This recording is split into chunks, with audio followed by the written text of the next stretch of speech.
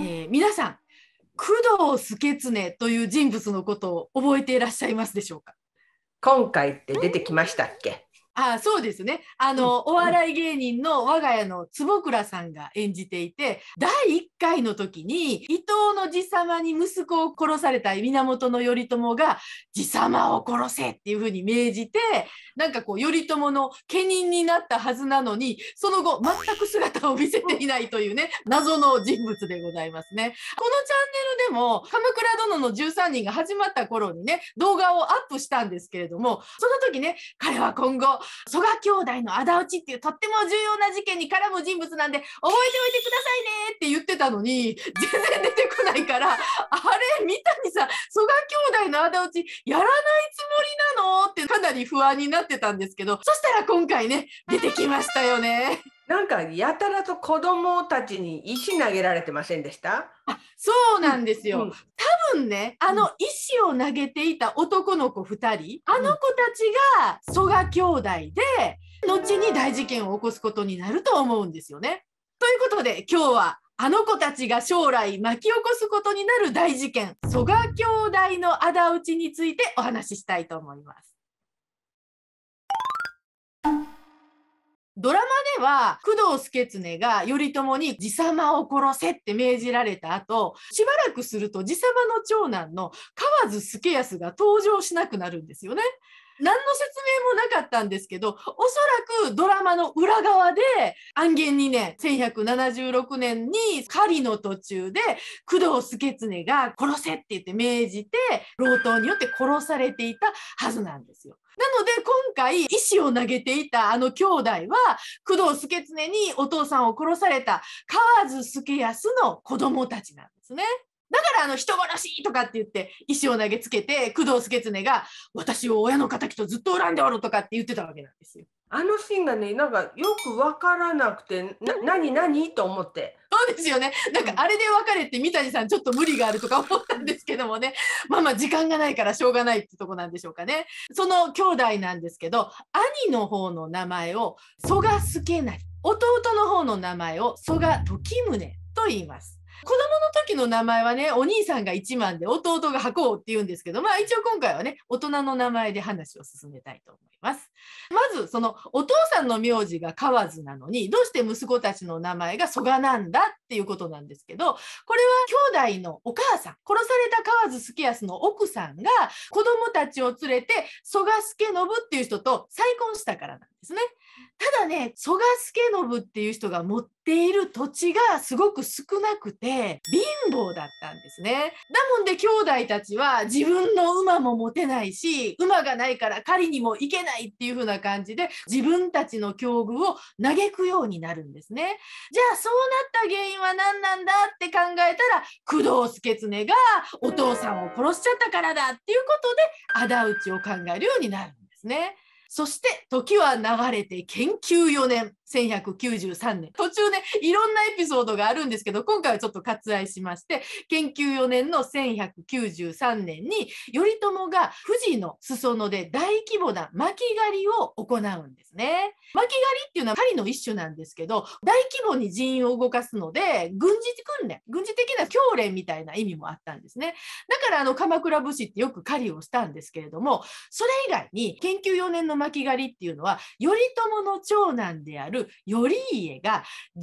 歳になったのでそのお披露目の意味も兼ねていたんですね。こういうのも仮デビューってなるんですかね？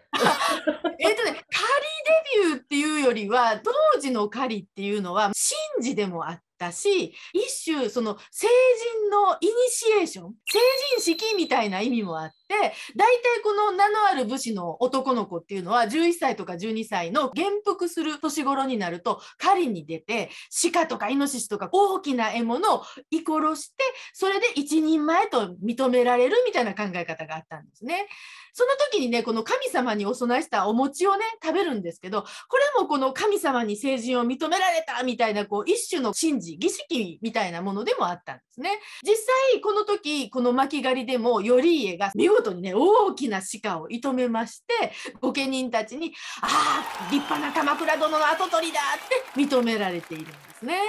ちなみにこの時に父親の頼朝が大喜びしてね政子に「頼家が鹿を射止めたよ!」って手紙を送るんですけど政子の方は源氏の棟梁の息子なんだからそれくらい当たり前でしょって結構冷静な対応してるのが笑えるんですよね。なんかこう自分の息子がね二代目鎌倉殿にふさわしい活躍をしてくれて素直に喜んでいる頼朝も可愛いですし御家人たちに対してのこう見栄をね大事にしているっていうのもなんか頼朝っぽいですしで一方でね自分の息子をね信じてこうドーンと落ち着いてる政子っていうのも政子らしいなと思ったりしてななんかそれぞれのキャラがよく表れているエピソードだなと思いますね。政子かっこいいですね。なんか。ね、やっぱ政子ね、うん、後の尼将軍だけあってね、どっしりきますよね。鎌倉のお母ちゃんって感じですよね。うん、なんですが、事件はこの富士の巻狩りの際に起こります。巻き狩りが始まってからずっと密かに工藤助経を付け狙っていた曽我兄弟は5月28日の夜遅くついに御家人たちが寝ている屋敷に忍び込んで工藤助経に切りつけます。驚いた工藤助経は飛び起きるんですがそこへ二のたちが襲いかかってさらに兄弟は2人がかりでめった刺しにこうしたものでとうとう絶命してしまうんですね。本会を遂げた曽我兄弟は鎌倉の御家人を殺したとあってはもうどこへ逃げても逃げ切れるものではないとその場で討ち死にを決意します。騒ぎに駆けつけてきた御家人たちと曽我兄弟の間でたちまち激しい切り合いが始まって兄弟は瞬く間に10人の屈強な武士を切り捨てるんですね。がやはり多勢に無勢やがて兄の助成は殿井をしていた新田忠常に討たれてしまい22歳の短い生涯を閉じることになります。でこれを見た弟の時宗はなんとか包囲を突破しようと奮戦するんですがこちらも捕まってしまって頼朝の前に引き出されてしまいます。でこう頼朝の尋問が始まるんですがこの時ね時宗はとんでもない爆弾発言をするんですね。なんと時宗父の敵の工藤助経の他に祖父の伊藤助親の首をはねた鎌倉殿つまり頼朝も殺すつもりだったって言い出したん一戦一万の侍を打つよりも頼朝一人を打った方が武名が上がるとまで言い切った時宗に頼朝は逆に感心しましてね。あっぱれ男子の手本であるって言って命を助けようとするんですよね。でもそこで梶原景時が今時宗を助けたら今度は工藤助経の息子たちが父の敵って時宗を狙うでしょうしそうすれば将来また同じようなことが起こるかもしれませんから負の連鎖はここで断ち切るべきですって進言したので頼朝は時宗を惜しみながらも最終的に処刑したというのが曽我兄弟の仇討ちの大体の流れになります。ここで浮上してくるのが曽我兄弟が鎌倉殿の頼朝まで殺そうとしたんだとするとこれは単純な仇討ちではなくて背後に黒幕がいたんじゃないかっていう黒幕陰謀説っていうのがまあ出てくるわけなんですね。その黒幕が北条時政時政パパなんじゃないかっていう説があるんですよ。実はね、あの、時政パパって、曽我兄弟の弟の時宗を元服させた烏帽子親なんですね。だから、あの、弟ちゃんの方は時政パパの一時をもらって、時宗って名前になってるんですね。時政パパは烏帽子語である時宗が工藤助経を討とうとしているのを知って、兄弟をうまく操って、その仇討ちの際に一緒に頼朝も殺してしまえってけしかけたんだとする説なんですけれども、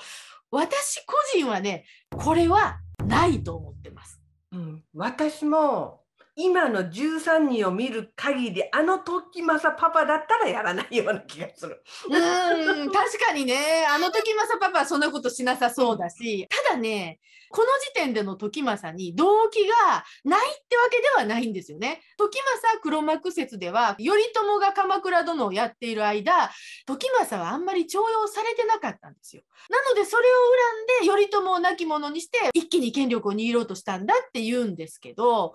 ただねこの時点で頼朝がいなくなったからって言って時政一人で権力を握れるかって言ったら他のね御家人たちもいるしかなり難しいと思うんですよね。なので私は時政黒幕説っていうのは取らないんですが実はね黒幕は頼朝だったっていう説もあるんですよ。で時政はそれをサポートしたんじゃないかっていう説なんですよね。えよ頼朝を殺すためのやつですよね。ええ頼朝が自分を殺せって、なんかね そこのところはね他のね謀反事件なんかと絡んでいてかなりややこしいんですよね。ただねこの頼朝黒幕説は頼朝の弟の範頼カバのカジャカバちゃんですねこのカバちゃんの死とも大きく関わってくるのでそれは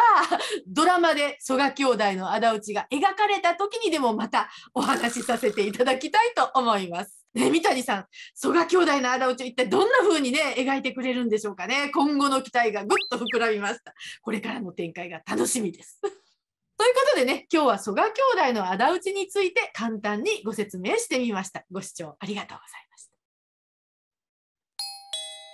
曽我兄弟の仇討ちって今後の鎌倉幕府の展開にすごく重要な事件なの？頼朝が鎌倉殿として絶対的な権力を握る。鎌倉ではねかなり強権を握ってたんだけど実はこの曽我兄弟の仇討ち前後ってちょっと地方になる少し鎌倉から離れた辺りのその関東とかあるいは甲斐信濃とかね少し離れたとこらへんでどうもいろいろ御家人たちの内紛であったりとかちょっとこう頼朝に対する反響ねなんか不満とかっていうのがなんとなくこう吹き出しかけている時期なんですよ。これ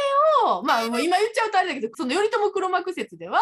それをなんとかするために頼朝が仕掛けたんじゃじゃないかっていうような話なんですよね。でしかもその時にそれと関わってたのが弟のカバちゃんででそれでまたそのカバちゃんの粛清にもつながっていくみたいなそういう説なんですけどね。じゃあ場合によってはただあの子供に石投げられただけで終わる可能性もあるわけですね。そうかいや三谷さんがそれで終わっちゃうどうなんだろういくらなんでもあそこまで出しといて何もしないとは思えないんだけどねちょっとだったらまだ逆にびっくりですよね。そしたら石を投げささないと思う。うんわざわざもうだったらそのままねあのフェードアウトさせたまま出さないんじゃないかなとは思うのでわざわざ出したってことはやっぱりやるんじゃないでしかも今私が言ったような時政説とか頼朝黒幕説とも違うまた第3のね三谷さんオリジナルの解釈が出るかもしれないんでそこはすごく楽しみに待ちたいと思います。この動画をご覧いただいてありがとうございます。気に入っていただけましたらいいねとチャンネル登録よろしくお願いします。よろしくお願いします。